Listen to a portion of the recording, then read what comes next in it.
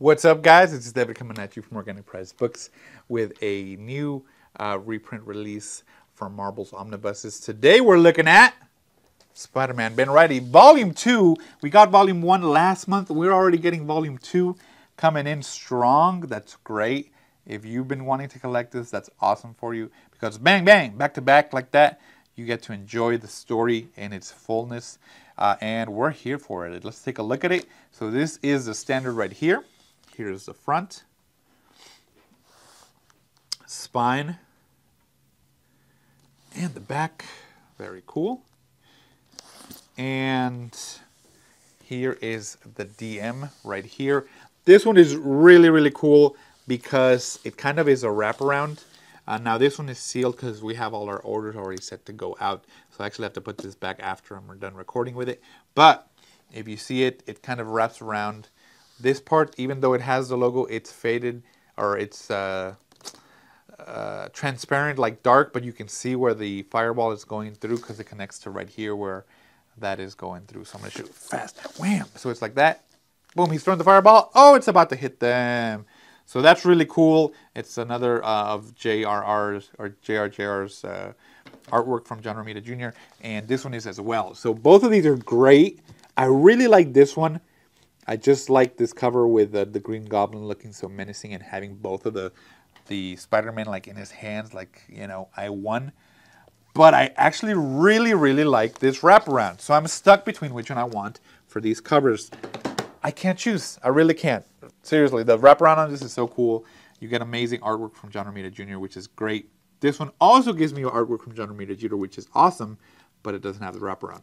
So whichever cover you get, you're to have fun with it. You're to enjoy it. Uh, and like I said, I couldn't pick. Now, there is one thing I do need to tell you. This one, uh, the book doesn't have the covers at the very end. So most of the books will have the covers at the very end. These ones don't. I'm not sure why they didn't choose to include them, but there's no covers at the end in the extras aspect of it. So what you have is just kind of like on the standard, you get all of the covers right here but you don't get that in the DM cover. So if you wanted to see the covers, you have to get the standard one because there's no extras in the back of this book. Weird. I don't know why they picked. They decided to do that. Um, but yeah, just saw that because I did the I do the top down look first, and then I show you the book like this. So going through it, there's no extras included in that. So just giving you a fair warning. Um, all right, now let's take a look underneath the dust jacket. And this, oh, I really like I really do enjoy this. This looks so cool. It's kind of uh, just, you know, drawings of Spider-Man in black with the red background, this matte red. It looks great. Um, now the the first Ben Reilly one had uh, him fighting, so I have that here just so I can show it to you both.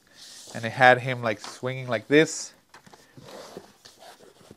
So it had him like that. So this is the the volume one. So I kind of wish there was a little bit more consistency between them, but that's okay. Let me also show you what they look like with uh, the books together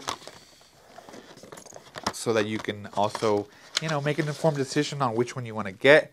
This is volume two, this is volume one, and the dust jackets together, uh, or the spines together, kind of look like this. Boom. Uh, this one is a little, yeah, there we go. So they're pretty uniform, uh, which is great. And then you have, of course, the different figures down here. This is what it looks like with that, uh, the different Spider-Man here that with the wraparound cover. I don't have the other one since the one I had, uh, we had to put or send it out to somebody. So I don't have the, I believe this is the standard, the DM one. But there you go. So if you do get the DM, then you're going to have a different color on the spine right here. So just be aware of that as well. Um, yeah, so just keep that in mind, you know, when you get it. But let's go ahead and take a look at uh, Spider-Man Ben Reilly Volume 2 and what is inside of this clone.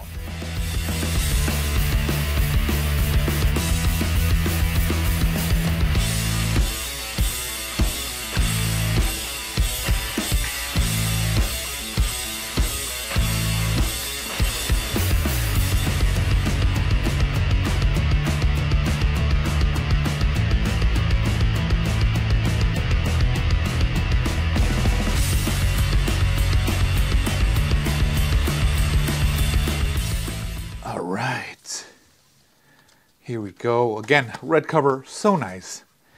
And here we go. All the people who uh, contributed to this. This one's for you guys. Very nice. Semi-gloss, like we're used to. Thickness, standard for Omnis, especially for 1304 pages. You definitely uh, want to keep it not too thin, but thin enough that you know the books aren't super thick. Uh, edge to edge, as you see for the paneling, no white, no near, well, some, some at the bottom, but none on the rest of it, which is great. That means that format is modernish. And it looks really, really good. Let me tell you a little bit about these books. A Tale of Two Spider-Men. As Ben Reilly starts to get into the swing of his new role as the sensational Spidey, Peter Parker continues to adapt to a life without powers, with a baby on the way. And things are more about to get even more complicated with this pair of blood brothers, when a shadow from Ben's past casts new doubt on his identity, and Peter is left gravely ill in a hospital bed.